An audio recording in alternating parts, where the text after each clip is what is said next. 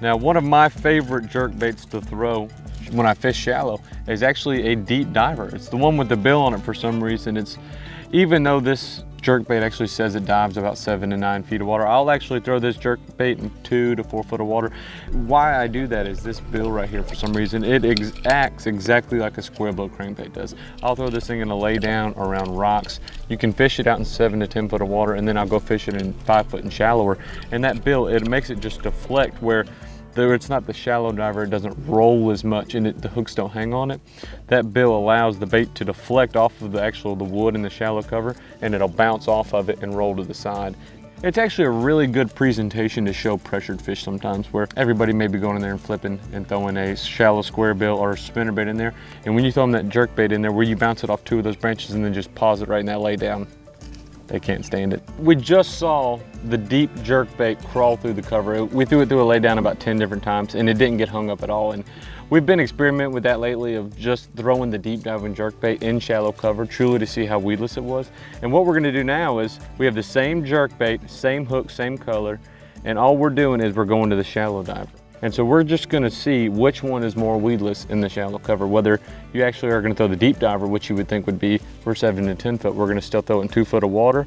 And so we're gonna compare it to the actual shallow diver with the small bill. So stay tuned, we'll see.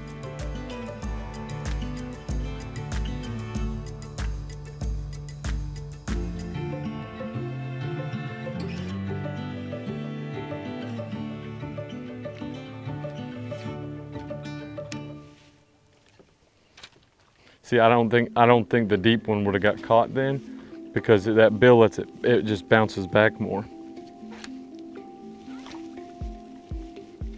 The deep diving jerkbait is something that these fish don't normally see a lot of times where parallel them in docks. There's people definitely throwing jerkbaits, but it's the deep diver where it deflects off the wood, it'll deflect off the post.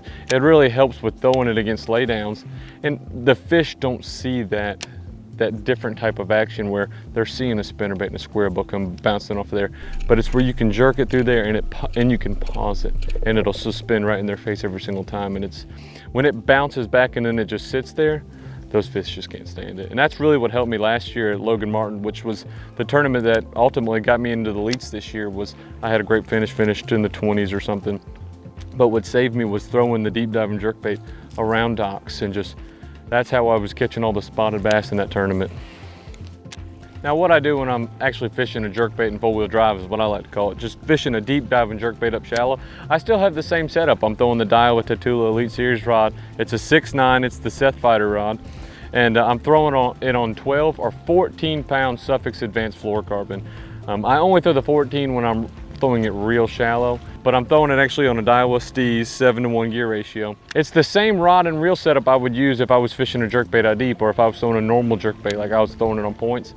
It's just, this is a great jerk bait. It throws the bait real well and it's got plenty of load.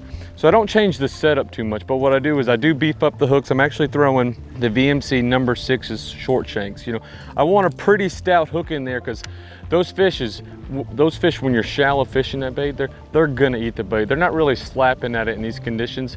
He's, he's gonna swallow this bait when it's just, when it's deflecting off that cover. It's not like it's in, in wide open area. So that's why I go with the short shank. So it makes it a little more weedless. And when he grabs it, he's hooked. He's, you, you really do pin the fish pretty well with those hooks.